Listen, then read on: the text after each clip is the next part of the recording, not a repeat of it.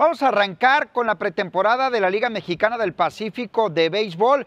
Vámonos con el equipo de los Tomateros de Culiacán que hoy por la mañana tuvieron otro día de entrenamientos. Ahí estuvo Ernesto Arredondo, quien nos tiene el reporte de lo que fue el día de hoy el entrenamiento de Tomateros.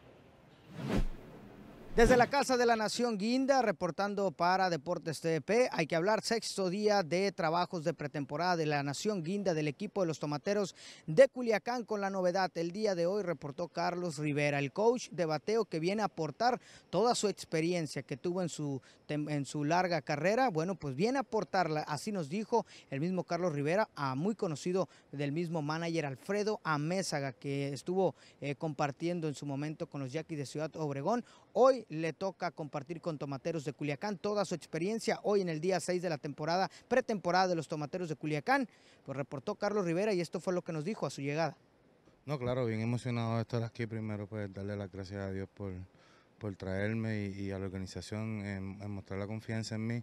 Nada, yo vengo pues, pues a trabajar y, y, mantener a estos muchachos en el ritmo en toda la temporada. Yo creo que esta temporada es bien rápida, donde tenemos que hacer el trabajo y hacer los ajustes rápido en el terreno y por eso es que estamos aquí temprano para, por su parte, el mismo coach de banca y encargado de esta pretemporada es Adán Muñoz, quien también dijo que ha estado en constante eh, contacto con Alfredo Amézaga, quien es el manager de este equipo, y dijo, estoy constante platicando con él y vamos a ser agresivos, vamos a buscar imponer un estilo, el estilo de Alfredo Amézaga.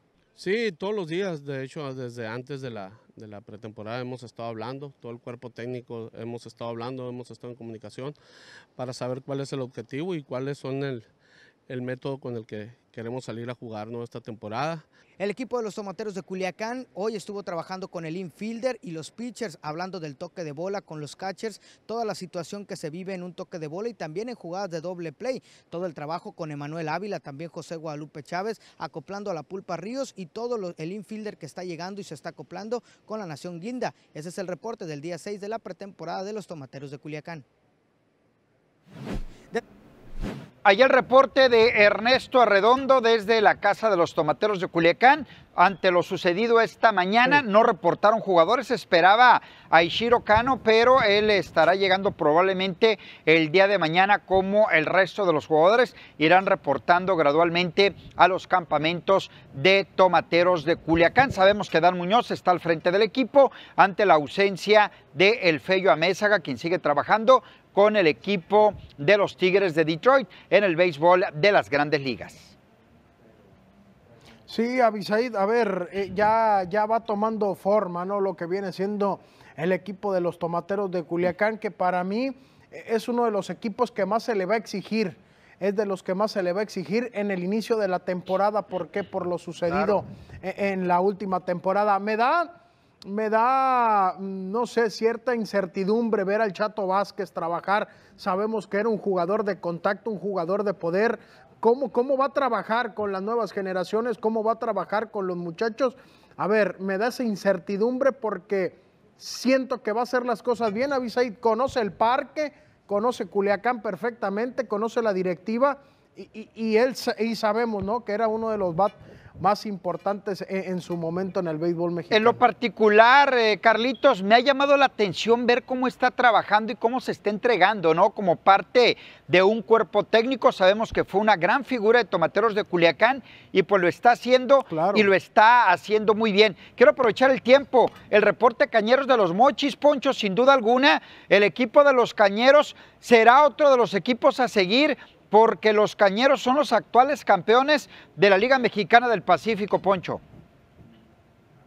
Sin lugar a dudas, Abisaid, el conjunto verde va a ser uno de los equipos a seguir. Eh, sí hay algunas bajas importantes, la del manejador sobre todo, sin embargo creo que el equipo de Cañeros tiene con qué para poder pelear de nueva cuenta por el título. Las contrataciones extranjeras, pues son muchas de ellas son eh, jugadores que repiten. Ahí está Justin Dean, que fue un demonio corriendo a las bases, un hombre de mucho contacto, de poder y contacto de las dos. Un jugador muy completo, Justin Dean, y el resto eh, de los jugadores extranjeros que van a, a ver, con el conjunto de Cañeros.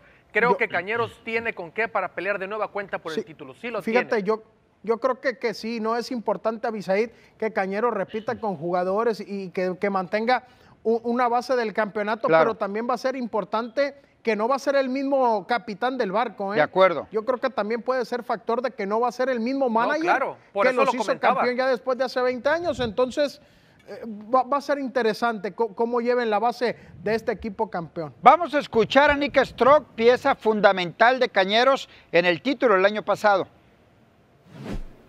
Siento bien, siento contento, este, feliz para estar aquí con, con, con el equipo, con todos los compañeros del año pasado.